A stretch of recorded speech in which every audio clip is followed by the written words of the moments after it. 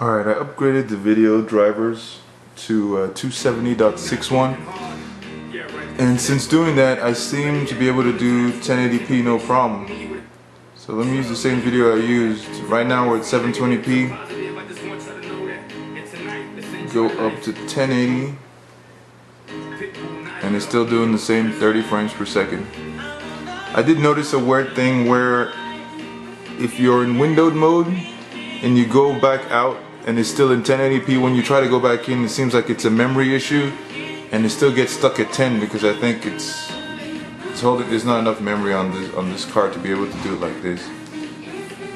So right now I've gone to windowed mode and I go back into full and it's running at 10 frames per second because I don't know I guess it's a memory thing.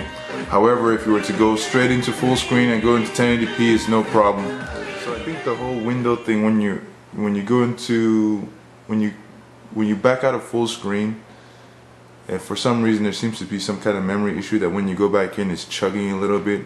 When you go straight in there's no problem. So I said let me actually just download one of these video files off of YouTube and see if we can play it standalone. And so I just went and grabbed the first 1080p file I could find. And let's see Windows Media Player and you can tell that you know as a standalone file the ION chip can handle 1080p the thing says 61 frames per second up there but I don't know. I think that's for some reason it's being double counted because the actual file only does um, is only encoded at 29 frames per second. But you can see when it's the actual 1080p file it's not a problem. You can skip along do whatever and it's it's running smooth. So I believe it's locked at the 29 frames per second.